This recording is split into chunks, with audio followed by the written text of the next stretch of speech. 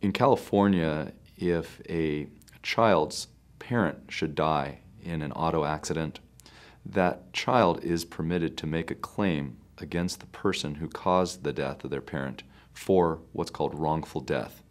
And in such circumstances, they will receive compensation for the loss of love from their parent, the loss of their parent's companionship, and as well as the loss of support, uh, financial support that the parent would have provided them. I'm Jeff Roberts of the Roberts Law Firm, a full service personal injury law firm in Southern California.